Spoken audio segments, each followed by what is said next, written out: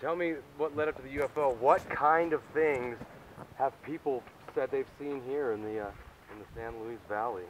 Um, we had one gentleman who who was talking about how, and this was funny because we went to the cafe for breakfast, and he's sitting at a table with his nephews, and he turns to me and he says, "You're that lady that's going to put that thing up down there, huh?" And I said, "Yeah," and he said, "Well, I got to tell you what I saw." And the nephews looked at him and their eyes got this big, and he hadn't told any of the family about it. So anyway, he proceeded to tell me it was four o'clock in the morning. He was out changing his irrigation tubes, and this bright light appeared, and all the the irrigation water went blood red, and then the light disappeared and the water was back to its normal color. So that's that was kind of fun.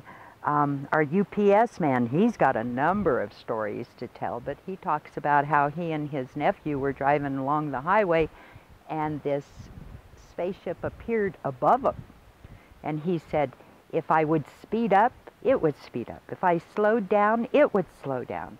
And he says, finally, I just stopped. I got out of the truck and I yelled, do you want to make contact or what? And he said, it took off and went around the mountain, went around a bend in the mountain. So they thought that they had lost it, and so they, they continue going on the road, and they go around the bend of the mountain, and there it is sitting there waiting for him.